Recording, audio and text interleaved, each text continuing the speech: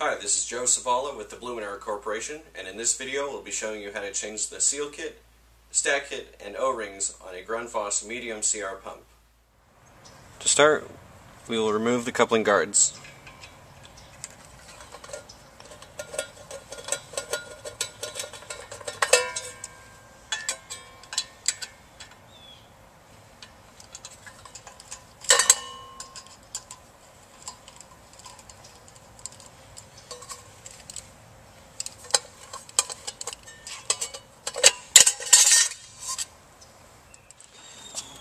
And we'll remove the other coupling guard as well.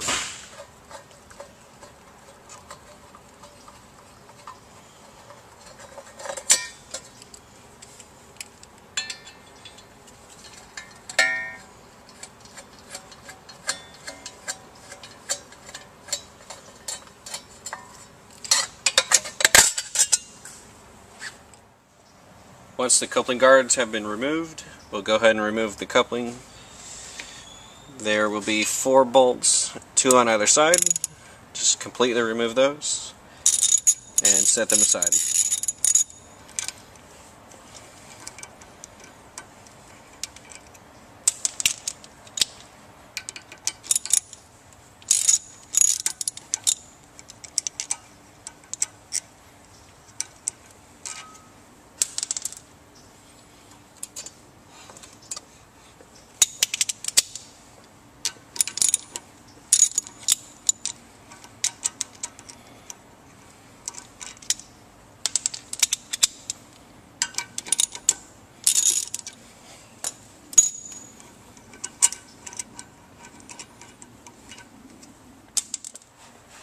And once the coupling bolts are removed, go ahead and pry the two halves apart.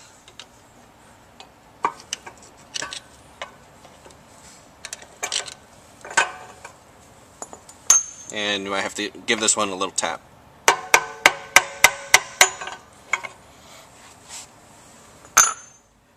Now that we've removed the coupling, the next step will be to remove the four motor bolts. There's two here.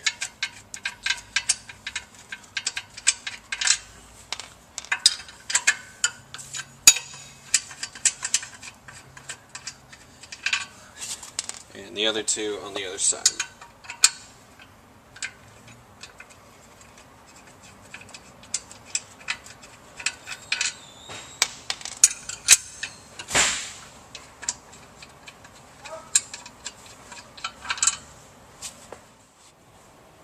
The next step will be to remove the motor from the motor stool. Be sure to use proper lifting techniques, as the larger horsepowers do get very heavy.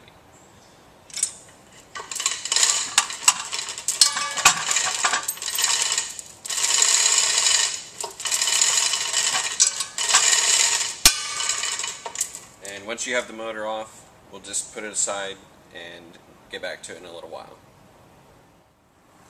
To remove the shaft seal, we'll start by taking out these three set screws. Just just loosen them, don't need to be removed.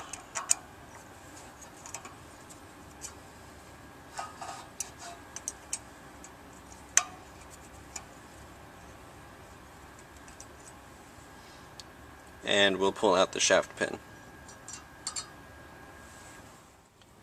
With the set screws loosened, we'll use a 41 millimeter socket to loosen the shaft seal.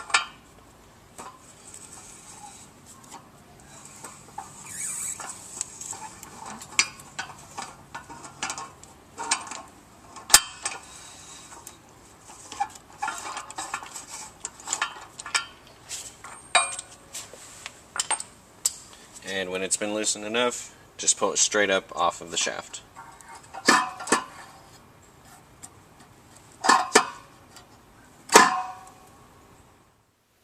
If you'll be changing the stack kit and O-rings on the pump, go ahead and click here for that portion of the video. Otherwise, just go ahead and press play. Okay, and now for the rest of the reassembly of the pump. At this point, we're ready to install the new mechanical seal. Be sure to lubricate the pump shaft with soapy water.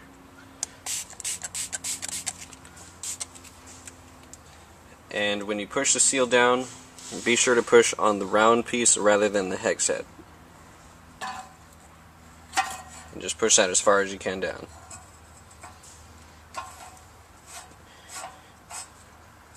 Tighten it by hand and we'll come back and torque it. Proper torque value for these shaft seals would be 26 foot-pounds.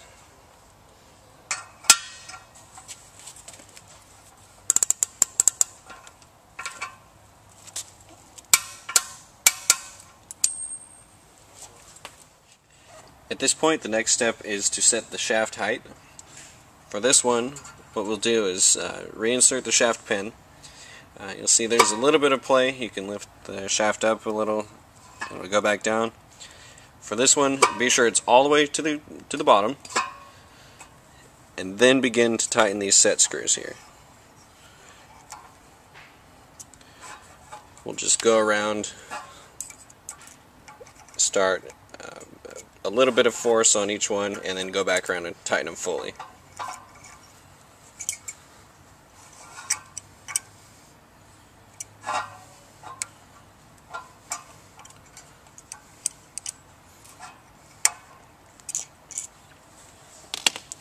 And then to actually set the height, we'll use this key, which would be uh, ought to be clipped to the inside of your coupling guard.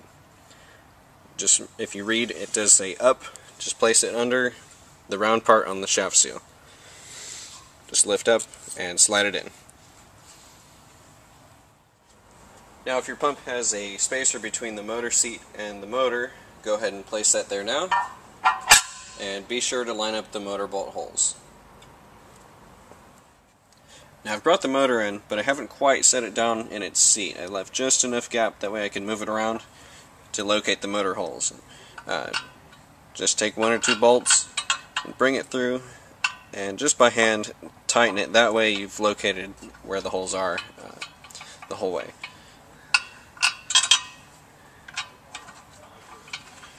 and once you've gotten a couple in there just go ahead and lower it the rest of the way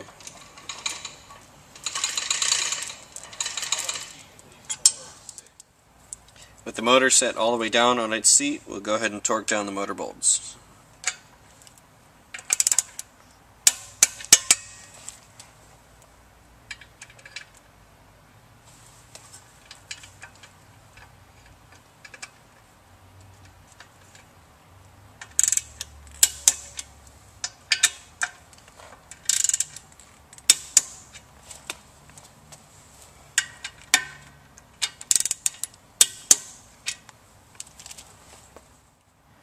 Now with the shaft key in place, we can go ahead and install the two coupling halves.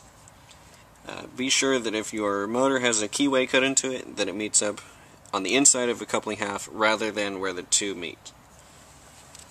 So just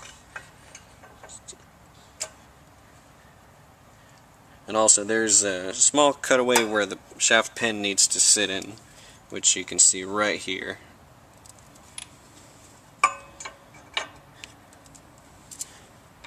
we'll just begin inserting the bolts.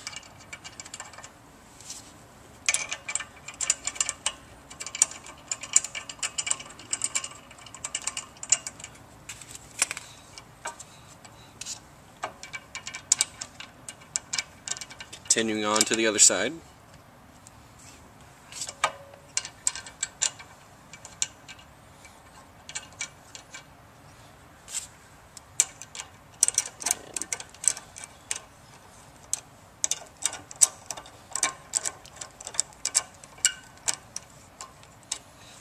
Get them started.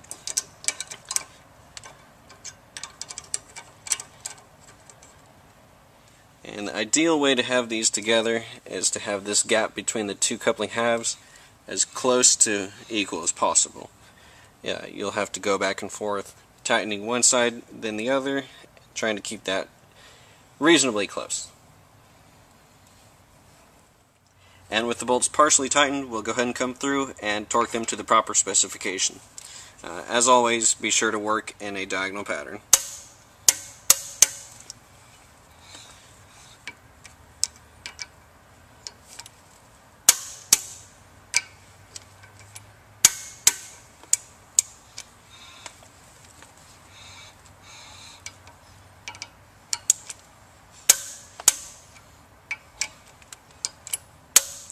Just want to check that one just to be sure. Alright, once the halves are tightened together and torqued down, we'll go ahead and remove the key.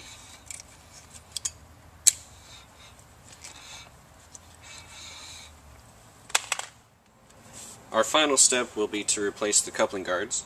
Before you put the last one on, be sure to put your shaft key on the back side of one of the coupling guards.